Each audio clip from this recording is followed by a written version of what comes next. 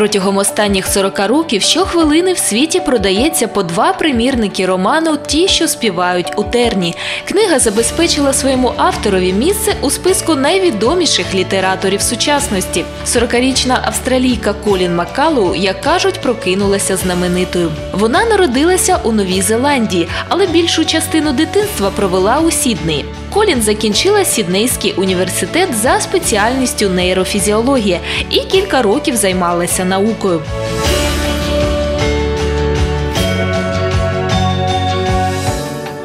Час дівчина малювала, а також писала для власного задоволення в стіл. Але зарплатня науковця не влаштовувала Колін, і дівчина спробувала продавати свої малюнки, а також писати з розрахунком на реального читача і комерційний успіх. Її дебютний роман Тім отримав хороші відгуки і непогано продавався.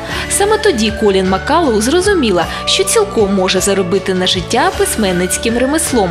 Друга її книга Ті, що співають у терні, вийшла друком у 1977 році. Грунтовна розповідь про те, як закохані Мегі Клірі і священик Ральф де Брікасар долають життєві обставини, стала світовим бестселером. Була перекладена 20 мовами і стала візитівкою письменниці. Ті, що співають у терні, це сімейна сага про життя декількох поколінь родини Клірі. Історія охоплює не лише великий часовий відрізок, а й величезні відстані. Дія роману відбувається у Новій Зеландії і Австралії, Африці, Греції та на Кіпрі. Одним з головних персонажів є Мегі. Навколо неї і розвивається вся історія. Вона все життя намагається знайти своє місце в цьому світі і своє кохання.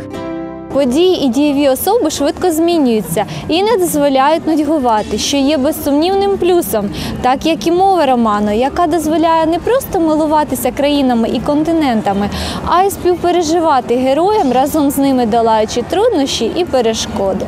У 1983 році за романом було знято одноіменний телесеріал. Він отримав кілька премій Золотий глобус і Емі та став рекордсменом за кількістю переглядів. Існувала лише одна проблема: сама письменниця була шокована телеверсією. Колін Маккалу змалювала чарівний світ. Кожен, хто приходить у нього, обирає свій шлях. Когось не вистачає сили духу піти за своїм покликанням, а хтось гонитві за мрією втрачає себе, таке життя. І Макалоу щедро вдихнула його в свій роман. Її думки і страждання знайшли відгук у мільйонах сердець. Ті, що співають у терні Колін Макалоу, це класика. Якщо не прочитали, виправте цю прикрість. Єдина незрівняна пісня, і дістається вона ціною життя, але весь світ завмирає, прислухаючись, і сам Бог посміхається на небесах, бо все найкраще купується ціною великого страждання. Принаймні так каже легенда.